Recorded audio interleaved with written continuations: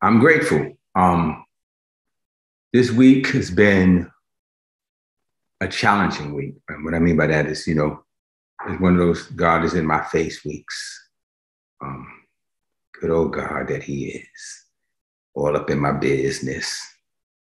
But um, I appreciate Him in my business. I appreciate uh, I appreciate Him checking me, and I appreciate Him. Um, you know, those who love the Lord love correction. You know, you know, fools despise correction. So let's get right at it. I've been um, looking at the word I shared a couple of weeks ago in um, Samuel, 1 Samuel 15, about how Saul, God gave him specific instruction to go do his work and not to bring everybody or anybody back. And he decided, and all any of the destroy the, the wealth and everything, he decided to keep some wealth and also to bring the king back, which was crazy to me. Like, what did, what did he bring the king back for? What was the thing? And um, of course, I can read it again. We went over it, but he said he was concerned because the people said we should do this, and he didn't want to go against the people. So I decided I'm going to disobey God, but I'm going to bring back the, the forbidden items that God told me not to bring, and I'm going to worship God with it. See? So it's good. I'm going to disobey you, God, but then I'm going to worship you with it. So it's different. You know, it's not like straight disobeying you, it's kind of somebody disobeying you with a twist, right? Twist is, I'm going to bless you with my disobedience to you. How you like that, God? That's a good deal, right? It's a good deal. You know, I know, come on, you, you know what I'm trying to do. God knows my heart. God's response to him was, Well, because you did what I told you not to do, specifically told you not to do. And I want to make sure I, I really clarify this with a strong point. There's times that we do wrong and we don't know. There's time we do wrong, we just made a mistake, or we ignorantly thought we understood something we didn't understand. And yet there's there's a consequence for that, but it's different. But then there's the no, I did what you specifically told me not to do because I felt better about it, or somebody made me feel guilty about not doing it. And so I made myself okay with it by saying to myself, I can now bless you with it. God tore the kingdom from him. And the way that chapter ends, which I won't go into today, not only did God tear the kingdom from Saul, he repented that he ever put him in that position. And the scripture said Saul walked away from him and never visited him again, even up to his death. God never let the prophet even fellowship with him again. And that's crucial because the king or Israel depended on the word of the prophet in order for them to receive correction and direction and, and, and instruction. So that means for the rest of Saul's tenure as king, he was no longer getting direction from God. That means the people were following the king who was not hearing from God. And oh my goodness, you understand what I'm saying? Like, you now follow a king that doesn't even hear from God anymore because the prophet no longer speaks to him. And here's this nation running off. Um, I feel a little sorry for David when I think about that because he had to inherit a people who had been under a leadership that was not under God's direction. And he had to come in and pick that up. But Let's go forward now. I gave you the instruction, and I pray that you listen to that message again. It's got a lot of powerful stuff in that you need to get. That's from two weeks ago. The court obedience is better. Today, I want to talk about moving forward. I'm to set my Bible down for a minute here, and I just want to kind of chat with you. So, as I talk to God about the mistakes I've made and the things even that he convicted me of this past week. And I talked to him about going forward to the next phase of my life. I wish I could see more of you guys' faces. Come on, if you can give me your face, give me your face. Because I, I, I like your expressions. Listen to this. And this is going to help you, I promise.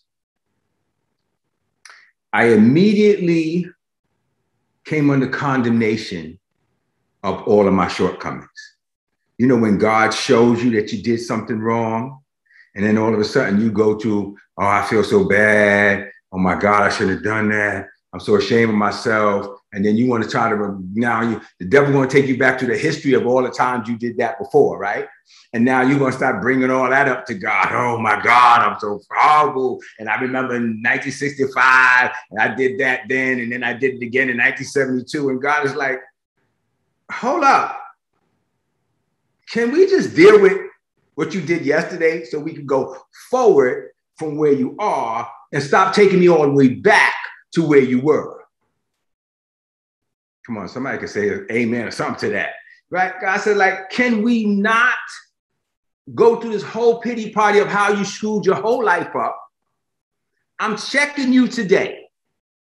Can you just let me check you today without taking me to your guilt journey so that we can go forward? Because the plan of God is to correct you, to take you to the next level, not to take you back to the history of everything you've done wrong as parents, we can have a problem of doing that. Saying, my kids see, and you did that before, and remember before when you did that, and you know, it's, it's just this bad thing because we respond to people the way we think God responds to us. So God said to me, I need you to heal from where I'm checking you so we can keep moving to where I'm taking you. It's very powerful. So, with that said, I want you to go to Judges chapter 6. And we're going to talk about how we see, how God sees, and what God wants to do. It's, it's, it's, it's, it's very, very powerful because I'm going to start this message called Moving Forward using Gideon's story as a, as, as a beginning point or foundation point or place of reference. So in Judges chapter six, and this is this is you're gonna love this. I know you're gonna love this. This is this is this is some powerful stuff here. You're gonna eat very well, and you're gonna walk away with some ammunition, some stuff you can really use for the future. So Judges chapter six starting at verse one, starts like this. But the Israelites did evil in the sight of the Lord, and the Lord gave them into the hands of the Midian of Midian for seven years. And Midian's hand, and the hand of Midian prevailed against Israel. Because of Midian, the Israelites made themselves dens, which were in the mountains and in the caves and strongholds. Let's take this here. Ready? Ready? Ready? Where my daughter go? Come on back on here, Lima. Come on back, Cletus. Come on. Come on.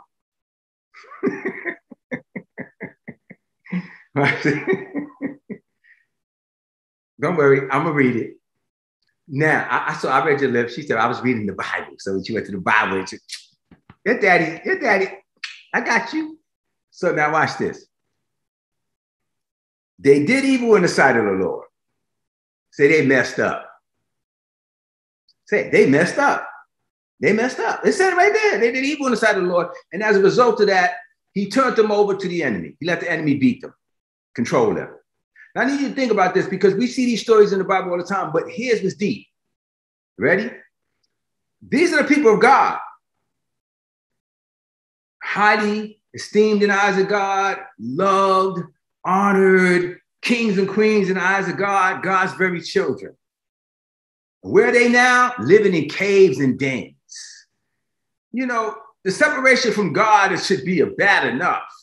But now you got to go from living in nice, God-like lifestyle to living in caves. You got to go from blessed, prosperous Israel to people hiding out like, like monks and, and animals in dens and caves, hiding from these Midianites because these Midianites, they were very oppressive. They were very controlling. If you made any money, they came and took it. If you grew some food in the backyard, they came and took it. They just like, look, your whatever you do is ours. We take it. These are people who once had a relationship with God that God provided. And now they're in lack and in hiding. Come on out of that cave. Come on out. You don't belong in there. I know I'm getting a little ahead of myself in the message, but I just want to drop that encouraging word right here, right now. You don't belong in that cave. You don't, you don't belong hiding and eating scraps and, and trying to get just a little something to eat just before they come and take the rest of it from you. You're not supposed to be sitting at the edge of eviction waiting for the, the, the marshal to come and put you out. I've been in all of those places, but that's not where we belong. Come on up out of that cave. Come up out of there. You don't belong in there. But it says why they were in there, because they did evil in the sight of the Lord. So you want to come out that cave, then first thing we got to do is we got to deal with why you got put in this cave. So let's do this now. Verse 3 For whatever Israel had sown their seed, the Midianites and the Amalekites and the people of the east came up against them.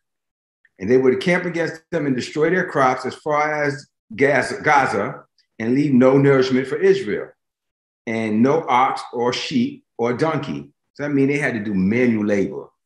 Come on now. I'm to go all into that. Here we go.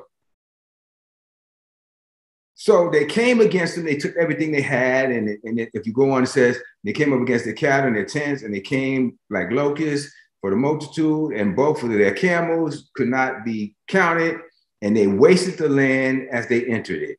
So it looked like to only that, they were not only destroying everything they had, they were keeping them from being fed. They were keeping them from having enough to eat so that could be strong enough to fight back. You know, his, his, Israel had a, a, history of butt whipping. You, you got to understand this now. They had a history of being victorious. They had a name amongst the people. The people all around the world knew about the Red Sea. They may not have had social media, but they got the word around some kind of way about that Red Sea and how that God opened up and swallowed up all of Egypt. And so people knew that when if Israel was coming against you, it was all but over for you. So their, their plan of attack, because God gave them over because they sinned against him, was to keep them impoverished and hungry and weak so they couldn't fight.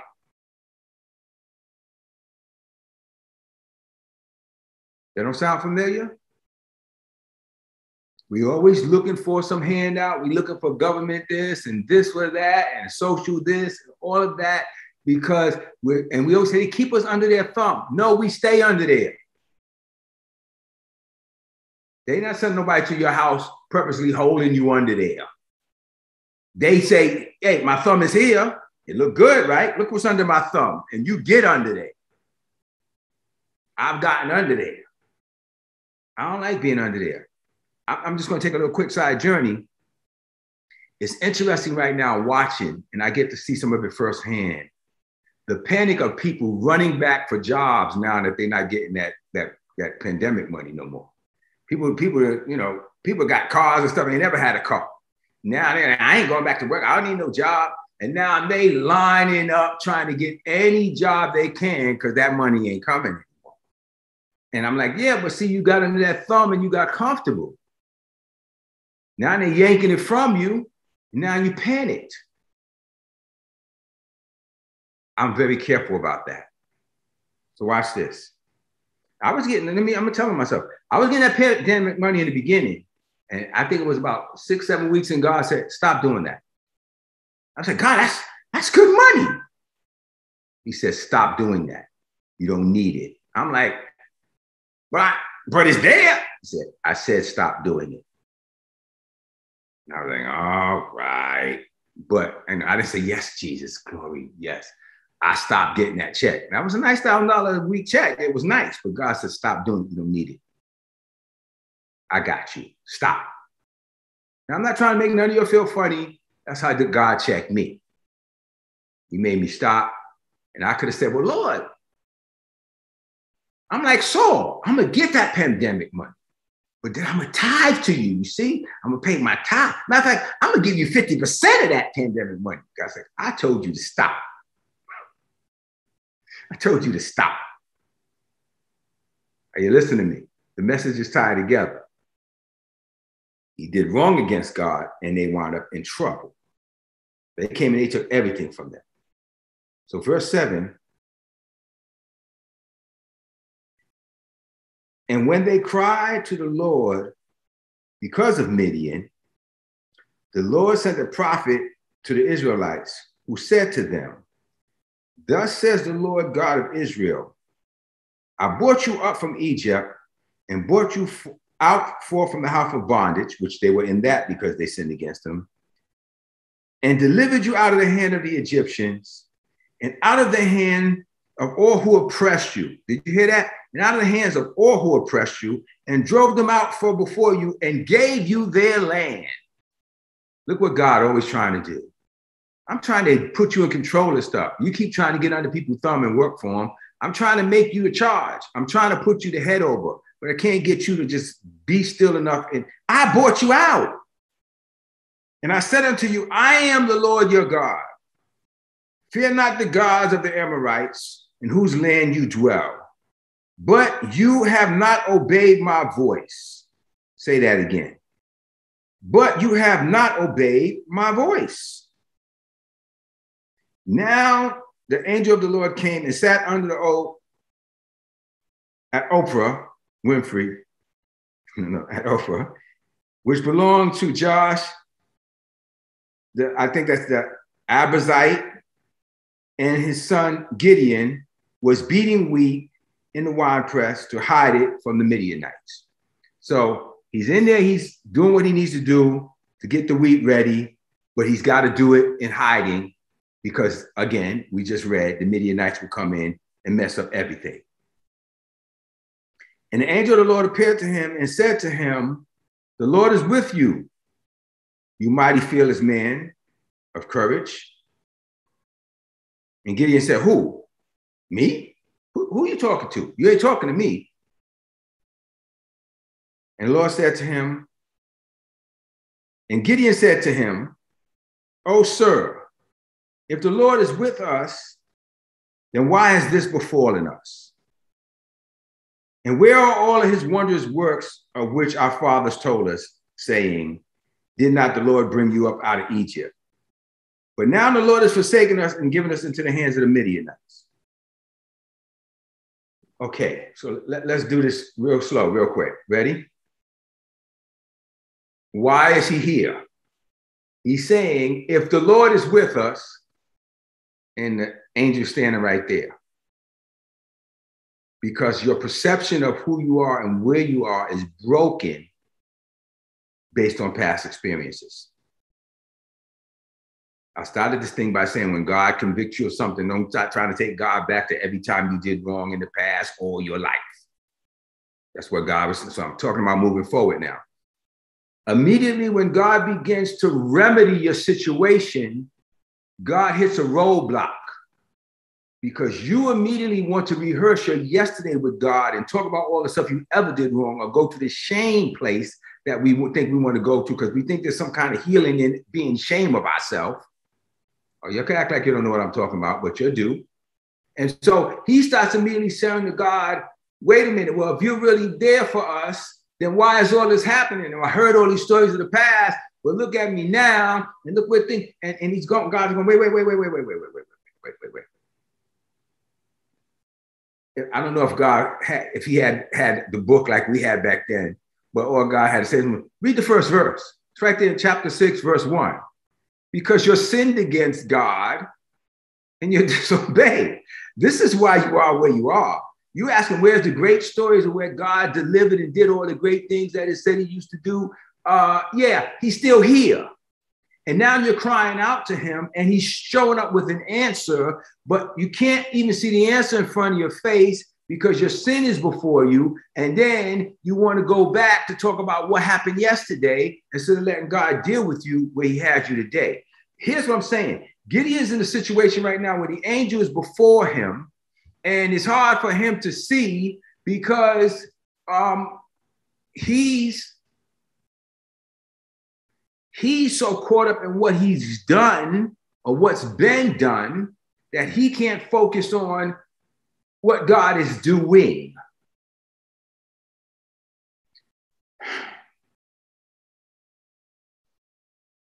Forgetting those things which are behind, you press forward to the mark of the high calling. We're going to get more into that next week. But let's talk about this. God is before each one of us right now with a plan for a future.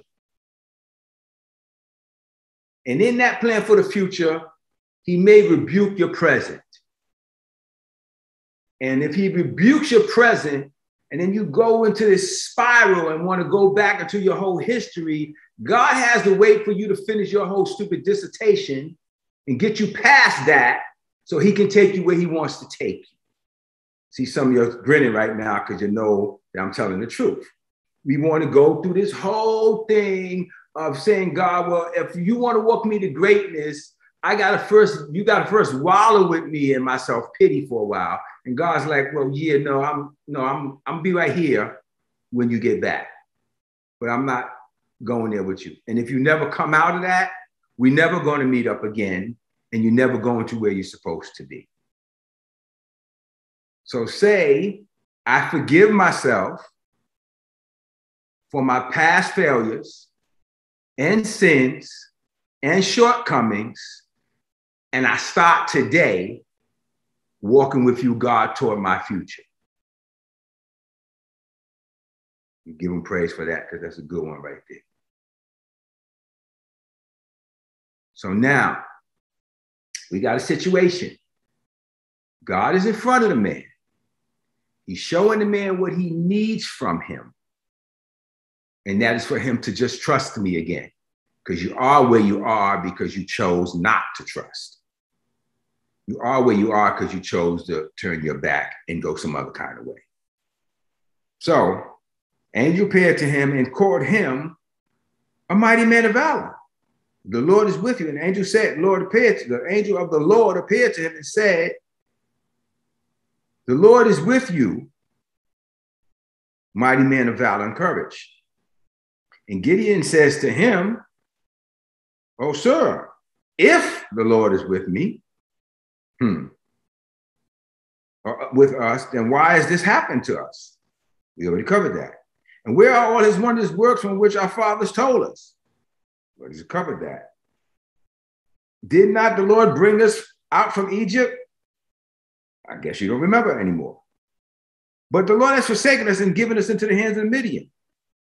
Read verse one.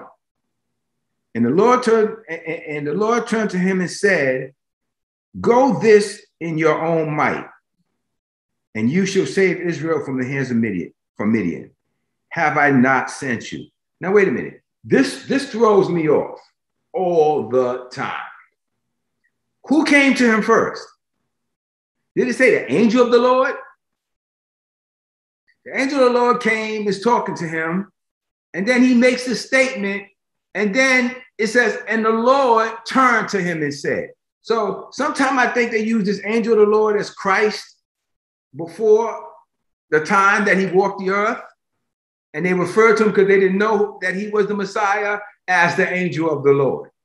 Because he said the angel of the Lord was speaking to him. And then when he said this stupid things, and the Lord turned to him and said, I catch stuff like that. But that's not the point I want to make. Here's the point. You ready for this? He said, but where are all the miracles that we have heard and all this stuff is going wrong and I don't understand why we're here. And he went through this whole thing and I thought I was a good Christian, but now look what's happening. And okay. And his response to him was this read that line.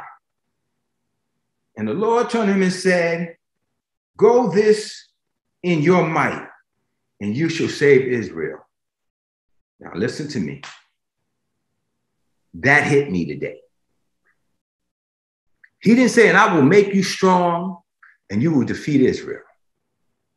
He said, go in your might. Whose might? Yours. Go in your might. He said, You got enough in you already to do what I need you to do. Oh, come on now. Come on, Saints, get back in here with me. This is what I'm saying. He said to him, Go in your might. Lord, give me strength. Go in your might. Lord, I just feel so weak. Go in whatever you got. I don't feel so strong right now. Go with that anyway. You know why you're not getting the breakthroughs? Because you're waiting for something to happen for you to go forward. And God is telling you, why don't you just go with what you got? I put enough in you. You've been in my word long enough. You've been in my relationship with me long enough. Even though the weakness that you feel right now is more powerful than the strongest man's strength. For when you are weak, I am strong, for his strength is perfected in my weakness. Go in your strength. Go in the strength that you have. And with that, he said, you can defeat the Midianites in your weakest state. You can defeat the enemy in your weakest place.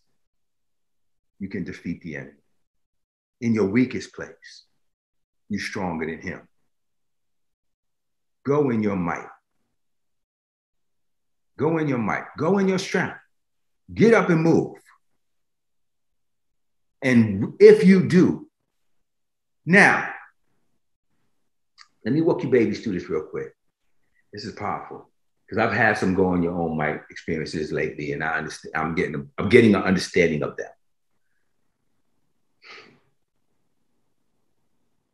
They're in a mess because they were in a mess. I don't know how long it took them to cry out, but it looks like it said they seven years. Finally, somebody cried out enough that God answered. So I'm thinking crying out is not crying, but it's literally repenting or reaching out or, or, or, or uh, availing yourself to God for correction. You caught that? Crying out to God is not crying, it's not feeling pitiful and sorry for yourself, but it's availing yourself to God for direction. I'm crying out saying, Help me out. I realize now against you and you only have I sinned. I need some help.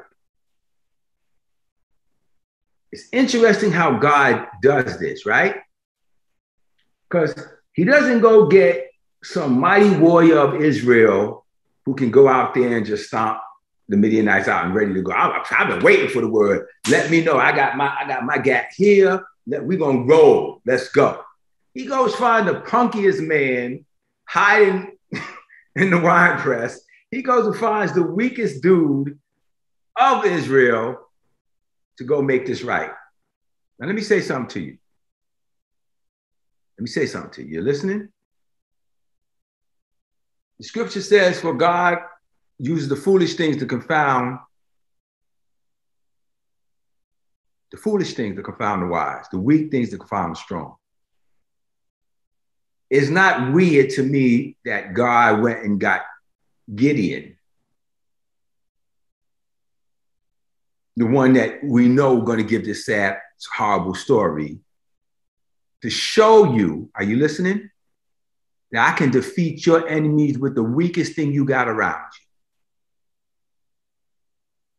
I can destroy your enemies with, with, the, with, the, with the weakest power you think you have. You know, I'm not educated. I don't have this. And he's like, I can, I can use you right there, right there. With that thing you despise the most, I can do the best thing with it, right there. That thing that you least proud of, I can make you take down mountains with right there. Right there. Right there. He goes and he gets this guy who's clearly a coward. He's not a warrior. He's not a powerful dude. And he says, Mighty man, mighty man, mighty man of valor. The guy is admitting, like, who are you talking to? Go in your strength. If you don't get anything else out of this message, get that. Go in your strength. Stop asking for more. Stop asking God to do something different. Stop asking God to open up all new avenues, give you new connections, open all kind of other doors. Go in the strength you have. Watch what God does. man, I should wrap it up right there, but it's a little bit more I want to share. But that right there, I'm gonna circle back to that to make sure we end the message with that. Go in the strength you got right now. It's all you need. It's all you need. And Gideon said to him, Oh Lord, can I deliver Israel? Okay, so now you know you're talking to the Lord, and the Lord is telling you you can do it, and you're still asking a bunch of stupid questions. Behold, my clan is the poorest in Manasseh, and I am the least in my father's house. See, I told you, his family's poor, and he's poor, poorer than the whole rest of the family. His family's the poorest, and he's the lowest on the totem pole in his family. He's saying this. I'm not dissing him. He's saying this about himself. And I'm the least in my father's house. And nobody, my father, oh, what he's saying, let me just tell you what, let me tell you what he just said. Let me see if you understand this. He just said, my family's poor, and I'm the I'm the black sheep of the poor family. My own family, my family's poor, and they don't respect me because I'm so poor. I'm so poor that they look down on me in their poverty.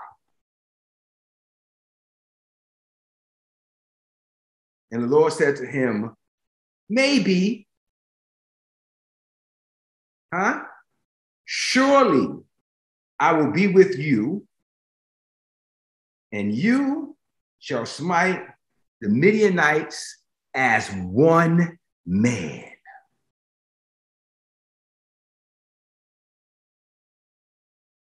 One woman, one person, under the sound of my voice, as the weakest in your family, the least educated, less money, out of all of that, you should still come against whatever enemy that's in front of you and by yourself take them down if you go with God. I want to propose something today. I want us to stop thinking about our background. I want us to stop thinking about where we failed. I want us to stop thinking about how many times we failed. I want us to stop thinking about just how we just don't get along with this and that and that and this. I want us to stop thinking about all of that and say, if God is with me, but I just don't have the connections, I don't know the people. If God is with me, I shall achieve. I shall prevail and even if I have to do it as one person, I win.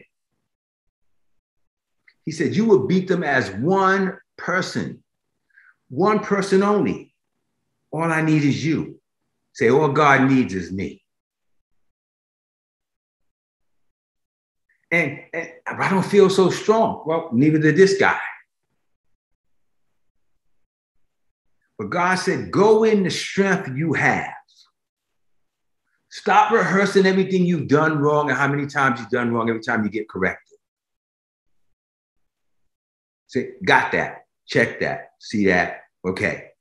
No, but let me explain to you, but you don't understand why. See, because it's the it's the, the face, your facial expression you made, and then it made me feel bad. And so that's why I responded. Could you just stop doing that?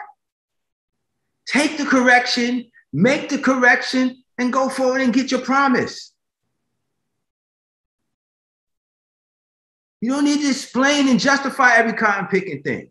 Just make the correction and do it. Especially if it bears witness, just take the correction and go do it and win. When God checked me this week, it was a hard correction. And I said, received.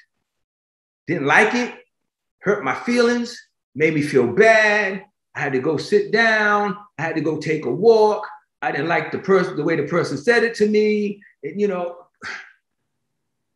but I had to put all that aside and say, but is it true? And then I said, thanks, appreciate it. I, I, need to take a walk. I didn't need to take a walk. I was mad. I need to take a walk because I knew it cut. I knew it cut. I needed to sit with it. I sat with it and I felt all the condemnation and all the past. Remember you did see that's your problem. Remember the before, see and see, and remember before you did it. And that's what ended that relationship. And remember, and God, and God was like, okay, we, we don't need to do all of that. We need to go from here to your to your destiny. Just say yes to the correction, receive the correction, even if it came from a donkey. Receive it and go forward. I sat there and I said, yes. And I slept rough. But I woke up the next morning and I said, that's it. That's it. Done. Done. That's never going to be a part of my life story again. And me say, well, that's been a part of your life story most of your life. Whatever. And word. Today, going forward, I'm a new creature. I received the correction. It's mine. If I slip off the path slightly, I'll catch my foot and pull it back and keep it moving. It's mine. I'm going to say this to you. Your power and your destiny is yours.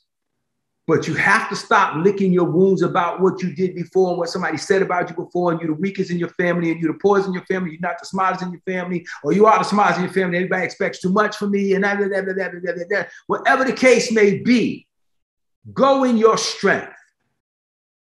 Go in the strength that you have. Stop praying about the strength you think you need. Go in the strength that you have. Go forward based on what you've already been given by God and trust that that's enough to take you to where He needs you to go next. No shame no more. No guilt, no condemnation.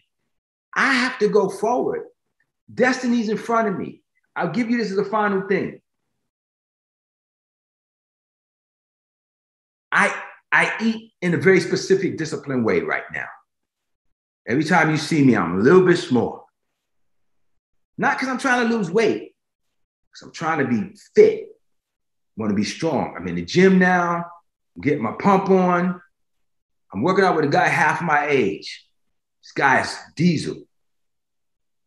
Every time me and him work out, he can't work out the next day because he's exhausted. And I'm like, dude, I'm I'm here in the gym. Like, you coming or not?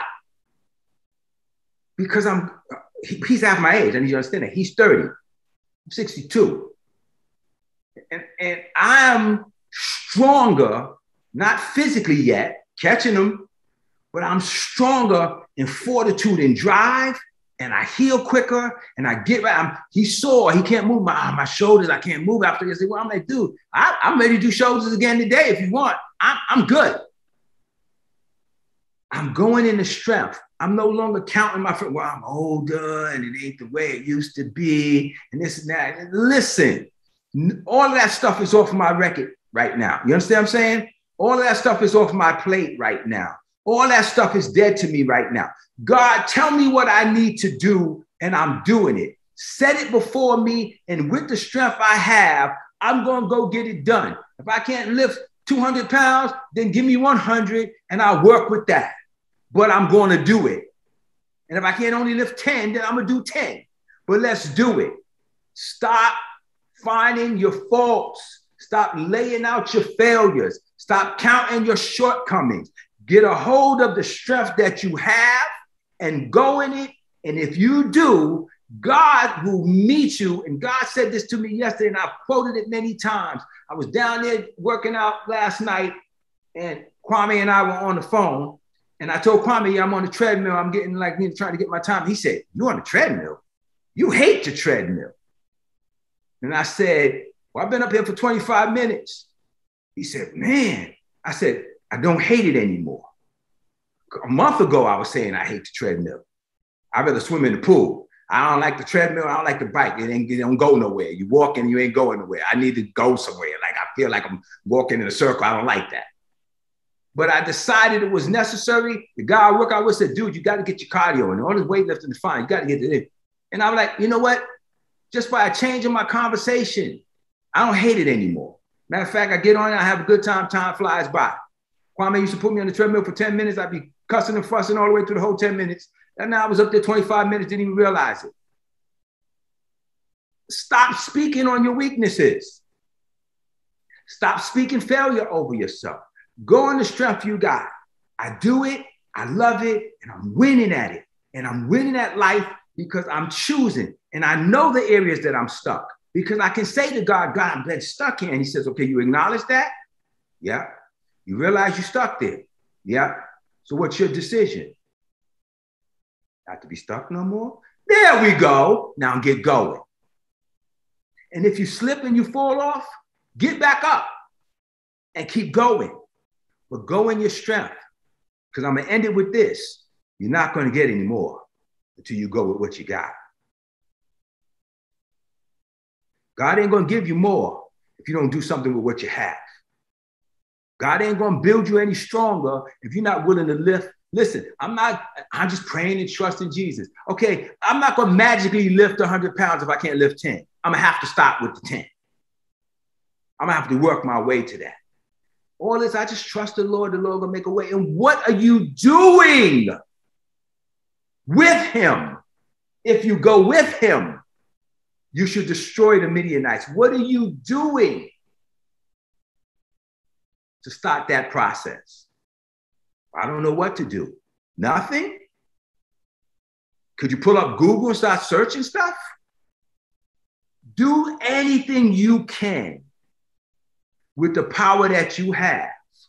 And I promise you, he's going to meet you there and you will destroy Midian as one person.